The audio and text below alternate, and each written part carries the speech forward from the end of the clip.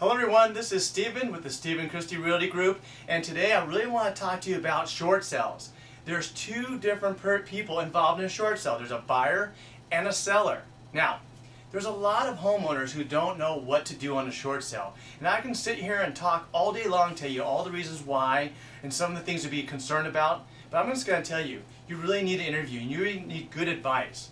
Now, what I'd like to do is actually invite you to give me a call and let's talk about the short sale process. Let's make sure it actually works for you. You know, to sit there and wait longer and longer and longer, you're thinking, you know, what do I do next? And it may be too late.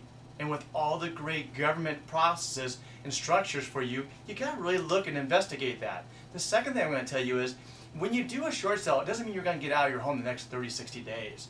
A short sale does take time. So understand that you still will be there four to six months. You don't have to worry about running out, finding a rental or something like that. You need to really get good advice. Three, we really got to go through the tax structure for you because there's so much misinformation out there. I want to be the one to actually talk to you, go through with you because I hear a lot of people get wrong advice. And the best thing is talk to a professional.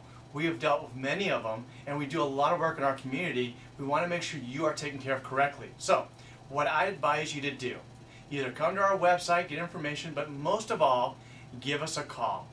805 582 9500 and say, you know what, I want to have an interview or talk about the short sale process. I don't want to do anything, but I want to at least talk about it so I know and I'm educated about the process. This is Stephen, Stephen Christie Realty Group. Thanks for showing up with us today.